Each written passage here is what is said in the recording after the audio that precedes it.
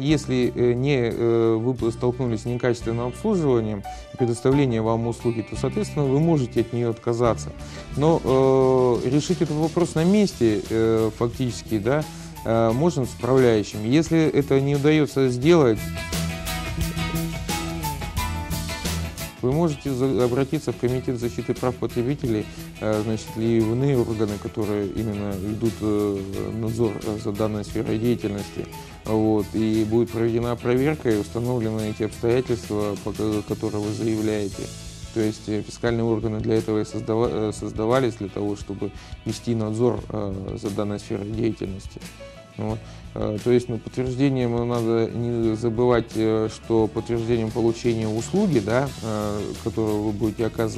оспаривать, да, как надлежащее оказанную, могут повлиять, то есть удостоверять это могут и наличие чека, также свидетельские показания, значит, ну и, в принципе, сегодня мы перешли в безналичную форму расчетов, да, то есть банковский платеж, списание денежных средств, э, выписка с лицевого счета физического лица может э, доказать о том, что да, действительно человек получал эту услугу, вот, и, соответственно, по данным фактам э, провести определенную проверку.